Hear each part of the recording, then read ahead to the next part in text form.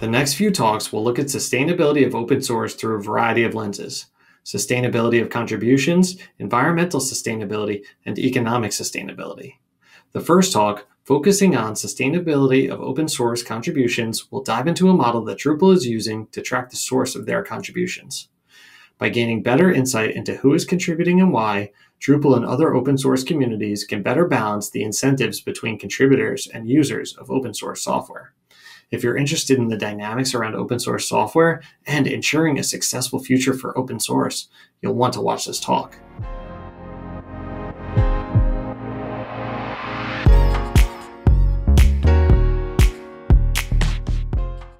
Hello, everyone. Welcome to our session at this year's GitLab Commit Virtual Summit. Uh, today, uh, my, myself and my co-speaker Matthew are happy to speak to you about evidence-based open source sustainability. So this means we're going to be talking about the challenges of sustaining an open source project and how you can use some data gathering uh, methods uh, to make that process easier. So we'll be using the Drupal project as a case study, as that's an open source project we're both very familiar with, and which has recently moved over to using GitLab as our contribution platform. But first, some introductions. Um, Matthew, why don't you go ahead and introduce yourself first? Hi, I am Matthew Tift. I am a lead engineer at Lullabot, and I have been involved with the Drupal project since about 2010. And I am very interested in all things Drupal. Awesome. I'm Tim Lehnen. I'm the CTO of the Drupal Association, the 501c3 nonprofit that helps foster the Drupal community and the Drupal project. Um, I'm also Hestenet on Drupal.org and other places, GitLab around the net. Um, and of course, I'm naturally very uh, interested in the sustainability of open source of the Drupal project in particular, but also in how we can take what we've learned in Drupal and maybe expand it to other projects. So speaking of that effort and what we're going to talk about today, um, we're going to go through a few different elements of this problem space in order to sort of set the stage for the conversation.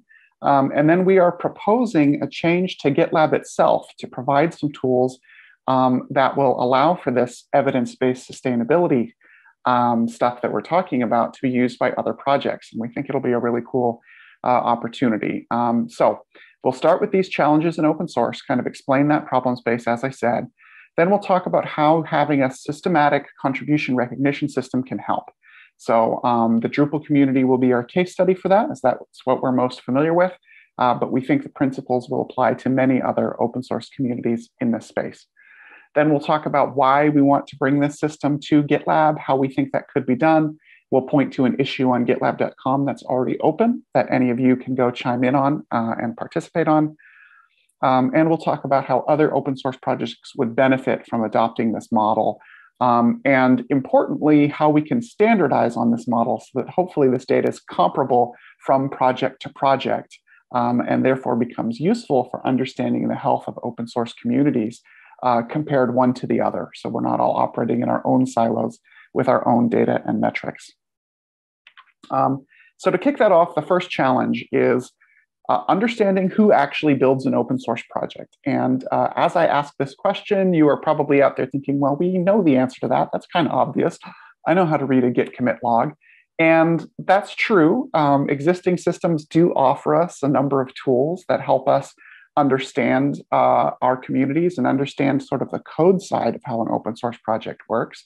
So an issue tracker will describe changes.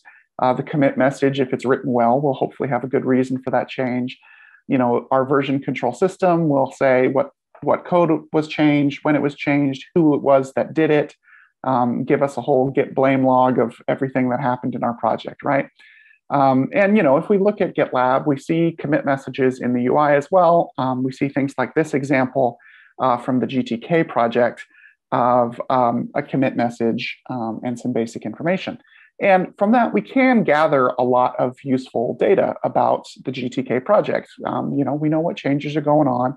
We can see who's doing them. We can see how many different people are involved over the course of the commit history of the project and get a sense of community health that way but it doesn't tell us everything. There's some data that's definitely missing. So what is missing? So we know that this uh, person, Marco, has contributed to the GTK project, Um, and we can see uh, a bunch of detail. Um, in fact, if you see in the image here, I've hovered over their, um, uh, their name and username, and I get a, a little bit more info. Um, I get their IRC nick.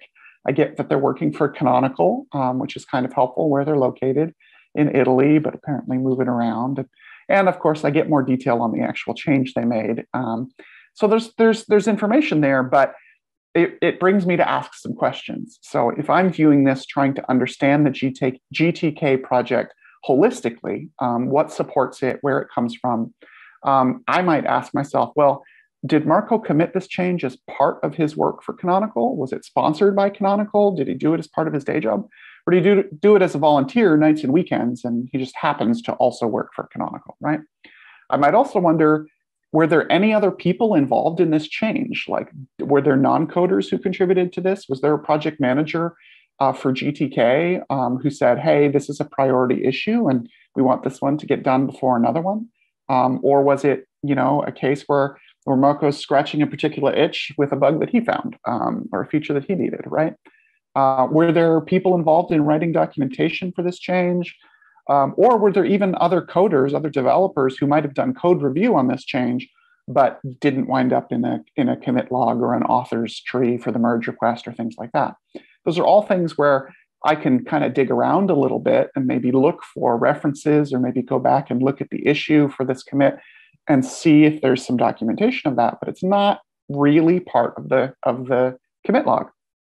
And then finally, I might wonder if the company Canonical is the primary sustaining organization for, for GTK. Um, I mean, who knows? I, I, might guess if I see a lot of commits from this, this person who works at Canonical that, hey, they have a vested interest in supporting the GTK project. But I'd be guessing to say that, hey, they've decided to sponsor that project and really carry it forward in general. So, you know, there's good data in a commit log for sure, but there's also stuff that's definitely missing. Um, and that lack of data is certainly one challenge in understanding how to sustain open source. But challenge two is specifically around the incentives for sustaining that project, uh, both on an individual and on an organizational or even corporate level. So let's break down the incentives behind open source contribution and sustainable contribution in general. Um, so this is borrowed from a blog by the Drupal founder, uh, Dries Buytaert, uh, the link is provided there on uh, in the uh, uh, slide below um, and talks about balancing the makers and takers in open source. Um, and first, we have to understand what kind of a good uh, open source is. What it is, what is it that we're creating, and we can understand any good that's been created on this spectrum of whether it's an excludable or a non-excludable good, and whether it's rivalrous or non-rivalrous. So excludable goods can be, you know, deliberately restricted to particular groups um, of people, or they can be held privately, or they're intellectual property, all these sorts of things. And so we already know from the open source realm that we're not going to be in that column of excludable goods. Um, but are these goods rivalrous or non-rivalrous? Um, a rivalrous good um, is a good that it's out there and anyone can get it, but it's not an infinite resource. And using, um, you know, someone using this good means that someone else might miss out. Whereas a sort of true public good, anyone can use it. It's kind of unlimited and everyone is supported by it. No one loses just because someone wins by using it, right? And for open source itself, it really is a public good. But is that totally the case from a business perspective of someone trying to support a public good? So I look at this quote from that blog post um, where Dries said, for end users, the open source projects are public goods. The shared resource is software. Anyone can, download and use that software. Um, the whole world benefits because uh, it's available to anyone. And it's not like there's limited copies where it's, it's bits. We're copying around digital bits and, and everybody's building something on top of that. And that's awesome. So we can think of open source in that sense as a public good from our previous slide.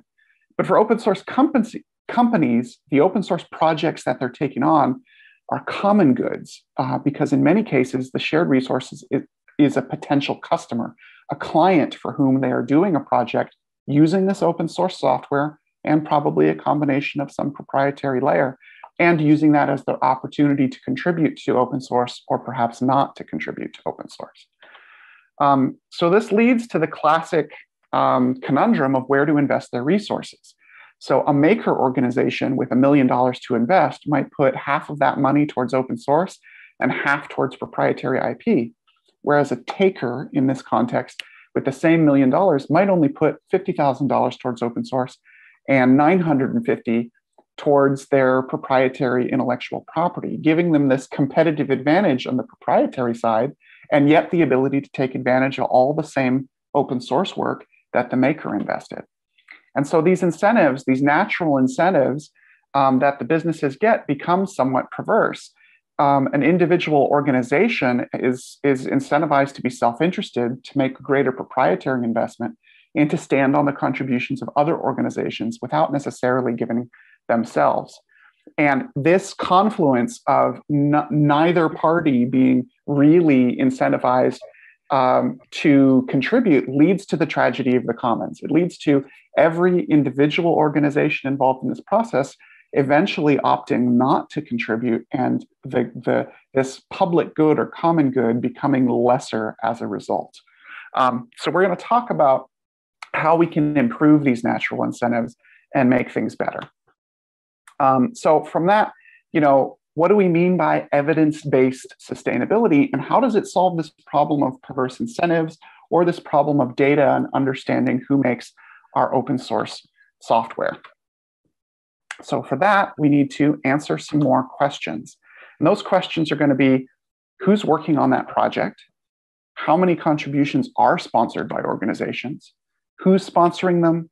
Are there major corporate users that aren't helping out, even though they're major users of the software? What types of contribution, whether it's code or non code, get sponsored? How diverse is that community of contributors? How resilient will it be to turnover in the con- contributor base? And what's that ratio of volunteer to sponsor work and blended work? And all of these things can actually be used by the sort of management of a community, the, the people involved in, in fostering that community health to inform better incentives. So we're proposing a feature for GitLab. Um, and this is the issue. We'll, we'll mention this again at the end of the slides. We hope you'll follow along and maybe comment. Um, but this issue proposes an example from the Drupal community. So Matthew's going to talk about how we created a system of contribution recognition that helps us solve these sorts of problems and answer these sorts of questions. So I will be talking about Drupal's specific implementation, basically a solution to this problem. We're not suggesting that uh, this solution is the only solution, but that it is one example of a way to systematically understand and recognize contributions to a project. So, the way that Drupal's credit system works can be somewhat confusing because it does cover a lot of ground. So I'm going to start with some a basic example because we've talked a little bit about sponsorship and contribution. So I'll use Tim as an example, and you can see from this screenshot uh, an example of an issue where Tim worked on something and he uploaded a patch, which is similar to creating a merge request on GitLab. And you can see here that the attribution for Tim is the Drupal Association. That's Tim's employer. So this is a fairly straightforward thing where Tim was working on something and it was something that he did that was part of his job, connected to his job in some way. And he uh, specifically chose to credit the Drupal Association. But it gets more, uh, there are more options that, than that. It gets more complicated, I guess you could say. So, in addition to having an employer sponsor someone's work, we could also have somebody who is working on behalf of a client. And we also could have people that want to specifically indicate that they are working as a volunteer that they just love Drupal so much that they are using their own time, their unpaid time to contribute. And believe it or not, this system allows for us to track various combinations of those. So, whereas Tim Tim's particular contribution in that one issue uh, is probably fairly consistent in his work across issues for others of us, there might be more of a complex scenario. So, for example, I'll use myself as, as the uh, slightly more complex type of contribution. So, I work for a web development agency called Lullabot. And in this particular issue, where I was working on a feature for Drupal.org, I think this was connected to an MPR or PBS module. And I was working for Lullabot, but I was also working on behalf of our client, our customer, Georgia Public Broadcasting. So you can see this system allows for more complex uh, sponsorship information to be tracked per issue. Now, what can be even more confusing is that you can see I've also checked this box that I'm volunteering my own time. And you might think, why would you also be volunteering? Aren't you getting paid? Well, in this particular case, I was working for a client that is a public media organization, and I have a long history with public media, and I'm passionate about the public media.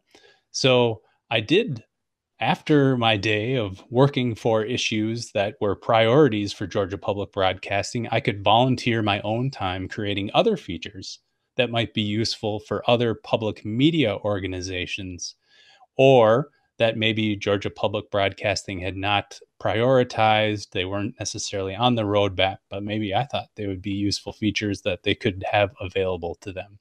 So, this is one of these examples where again, a real life scenario where how I got to the point of contributing to this particular project was quite varied. Uh, the next thing that I wanted to talk about was the other aspect of how this system works, which uh, goes from my own individual participation in an issue to what happens when it is time to, say, commit code or to close an issue. So, in Drupal's uh, UI for our credit system, we have the ability for a person, the person who is, you know, in this case, committing the code, to be able to assign credit. So, in this particular issue, you can see that somebody who had contributed 14 patches and had made a bunch of comments got a checkbox next to their name or their username, and a few other people did. But you also notice that there are some people that participated in this issue, but that didn't necessarily make any significant contribution, maybe even just a plus one or a question. So it's really up to the person committing to make that uh, determination whether or not each particular person who contributed gets uh, credit. So that's how it works to allow for us to paint a very complex picture of who is contributing. And in this particular screenshot, you can also see that these people that have a checkbox next to their name, they either credited their employer or their employer and perhaps a client. So it is a robust system that allows us to uh, have a deeper view into Drupal's contributions and it allows us to get more information about how people are contributing and why. So, from these data, we're able to create um, different portals into understanding the Drupal community. We're able to come up with metrics. And in particular, we can decide that we want to find out more about a particular aspect of the project or answer a particular question. For example, uh, we in 2016, uh, Dries Buytaert and I published a blog post. Uh, we co published a blog post called Who Sponsors Drupal Development? And that was one of the main questions that that blog post answered back in 2016. Dries has since updated that blog post annually. We were able to answer questions such as What is the Drupal community working on? Who is working on Drupal? How much of the work is sponsored? Many of the questions that we pointed out at the beginning of this talk. So we can also see how those answers have changed over the years and what the the information is uh, across time. So for example, in the most recent version of that blog post, which looked at data between July 1st, 2019 and June 30th, 2021, we could see that there were little more than 8,000 uh, issues that were purely volunteer, where somebody had checked volunteer and they weren't sponsored. But we could also see that there were 37,000 issues where somebody had been sponsored to work on an issue for Drupal.org. And then we can see the number a little over 8,000 where it's a combination of both. So we can see a lot about just this particular statistic that there was a lot of work that was sponsored. In addition, we can pull things out like con- differentiating between code contributions and non code contributions, that for the most part, our credit system is capturing data about code. And then from there, we're able to look at uh, different aspects of what a particular person did. So, beyond a blog post, this is somebody's individual user page on Drupal.org, Amy June. And we can see, for example, in the last year, she, she alone was credited with 736 issues fixed. So, this tells us a lot about what Amy has been working on, the types of things she's doing. We can see that some of this is uh, event organizing, mentoring, uh, as well as all kinds of other different uh, module updates and that kind of thing. So we can get a really clear picture on how pe- where people are putting their effort.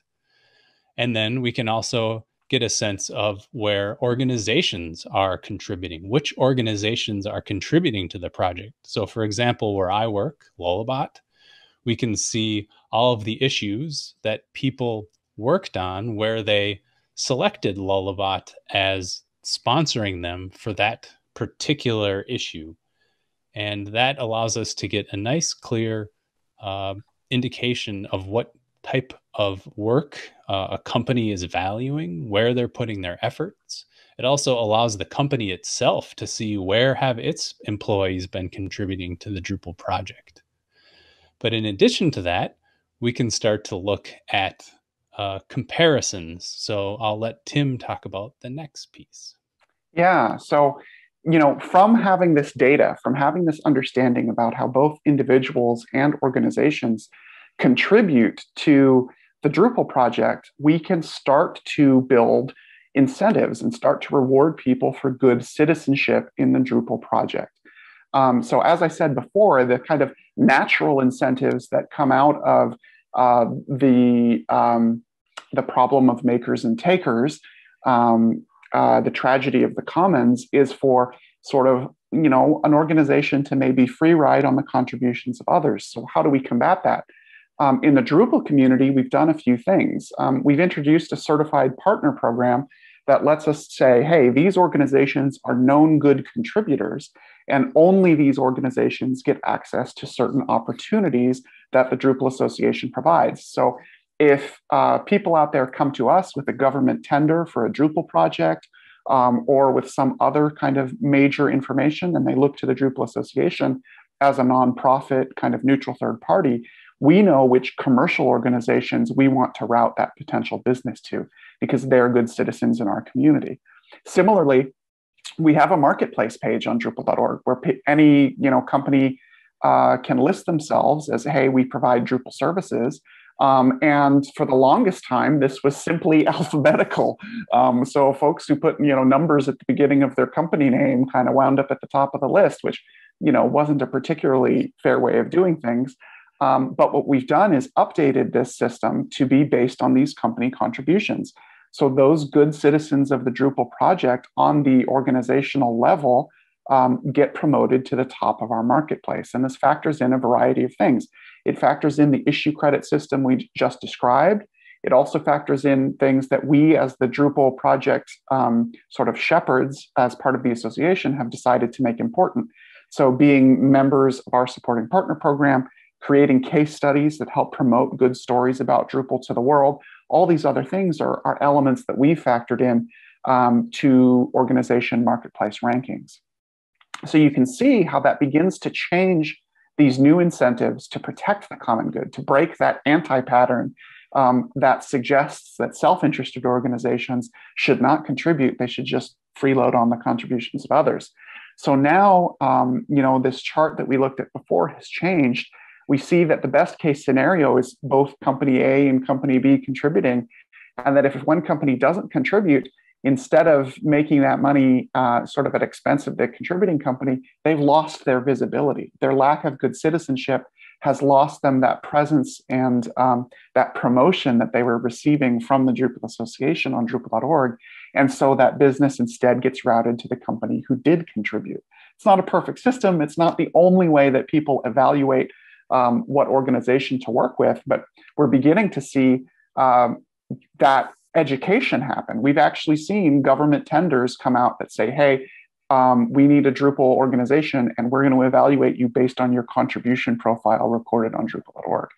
Um, I've reviewed at least one of those myself. Um, so we're starting to see that become adopted and help break that cycle. And this is what's going to promote good citizenship and therefore sustainability of the Drupal project. Um, so this is an awesome idea, and it's a lot of cool things that we've done just in the Drupal space. Uh, but you've seen a UI that looks like it's part of a complicated custom issue tracker. So hooray, that's great for Drupal, but how do we make this a model for open source as a whole? How do we kind of standardize this idea? So Matthew's going to talk a little bit more about our proposal to create a kind of standard around some of these um, options. Once again, I'll say that we view this as a solution and we can talk about how it's worked well for us, what sort of challenges we've encountered, but we know it's not the only solution. But as part of this process to bring our credit system over to GitLab, we have been interacting with other communities and speci- specifically other organizations that are trying to create some standards. So, for example, the uh, Internews is an organization that has created a lightweight rubric that they use, which is supposed to help journalists, human rights defenders, and people that are doing what we might think of as important work in the world. They want to help those people determine open source tools that they can trust. So you might uh, understand if you've had any uh, activity in open source open source communities that projects can be of varying use and they will there will be different communities that we know we can trust. So we want to have these people want to choose software that is useful for them that will be around and that is not going to be spying on them that kinds of things. So they have a whole bunch of questions in their particular rubric inclu- including a question about volunteers that our system can help with. Uh, and that's, you know, that's just one of the many questions in this rubric. Another uh, rubric comes from the Apache project maturity model, where they uh, are able, well, as part of their uh, look into what makes a project mature, they want to know do contributors act as themselves as opposed to representatives of corporations. So there are other projects that are interested in this, other models that use these sorts of data. And then finally, the one that most people might have heard about more recently is the CHAOSS projects, the Community Health Analytics Open Source Software projects. The CHAOSS project is focused on defining metrics to help define community health. So they offer a whole bunch of different metrics where they look at a project to define is this a healthy project or not? And some of the kinds of questions that they want to know about are simply the number of contributing organizations. And we can see from a system like Drupal's credit system that we would get a more complex and thorough understanding of the answer to that, as well as questions like the elephant factor, where is there just one company that's providing a lot of information, a lot of uh, support for a particular open source project. And we have engaged with them, and we're actually trying to make the kinds of questions we're answering into an official CHAOSS community metric. So that covers the kinds of questions that we're looking into, engaging with that community, learning from their ideas, uh, various people that are contributing to that project and their different roles, getting their feedback on how things work, and coming up with some standards, if you will, on what it means to uh, recognize contribution in a particular community. So finally, in addition to you know working with and researching all of these individual organizations that are trying to come up with their own metrics, we decided to open this issue I referred to earlier. earlier. So on GitLab.com, issue 327138, you can find our proposal to create a system of contribution recognition that's based on our understanding of these community health metrics, on our proposal to the CHAOSS project, um, and on what we've learned from the Drupal project about what would be useful. So this issue has been open for a little while. There's definitely a few folks from the GitLab team themselves chiming in, a few folks from other projects, um, and even from some more private organizations who use GitLab who've chimed in with their interest. But we would love to ask any of you out there who are listening to this um, uh, presentation to please take a look, um, give your opinion, give a plus one, especially um, if you'd like to see this become a GitLab feature, because we think that will, um, A, just be useful for comparing data across all of the open source projects that host on GitLab, make it easier for other projects to move to GitLab, like the Drupal project has been doing over the past couple of years. Um, and we think it will be a, you know, a win for open source sustainability. Um, so that's where we are. That's you know the main thing we'd love to see as a follow-up to this presentation. If you'd like to learn more about Drupal, um, there's some events coming up. So DrupalCon Europe, an all virtual event, is happening from the 4th to the 7th of October 2021. You can learn more at events.drupal.org slash Europe 2021. Uh, if you're interested in contributing to the Drupal community, you can go to drupal.org slash community to learn all of the different ways that you can participate in the community, whether it's just meeting people and going to meetups or diving into our GitLab instance and working on the code. Um, you can also support the Drupal Association by going to drupal.org slash membership. And with that, we want to thank you very much for your time. Again, I'm Tim hestenet of Drupal.org. I appreciate you being here. And this is Matthew. I'm mtift on Drupal.org. We both thank you very much for the time you spent with us today.